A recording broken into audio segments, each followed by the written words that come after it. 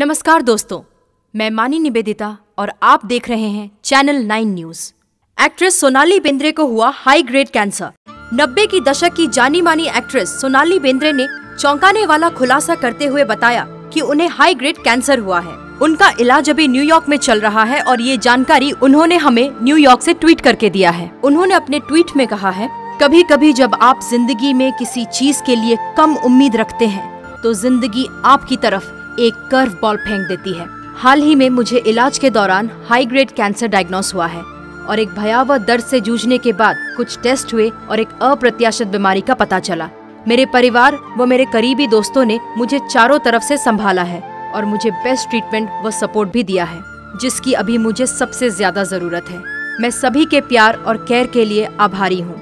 मैं न्यूयॉर्क में इलाज करा रही हूँ। हम आशावादी हैं और मैं रास्ते में आने वाले हर कदम से लड़ने के लिए तैयार हूँ। पिछले कुछ दिनों में मुझे प्यार और जो समर्थन मिला है, उससे मुझे बहुत मदद मिली है और इसके लिए मैं हमेशा आभारी रहूँगी। फ़िलहाल सोनाली बेंद्रे का इलाज न्यूयॉर्क में चल रहा है और हम ऊपर वाले से यही कामना करते हैं कि वो जल्द से जल्द स्वस्थ हो जाएँ और अपने देश व अपने लोगों के बीच लौट आएँ। आगे की खबरों के लिए देखते रहिए चैनल नाइन न्यूज़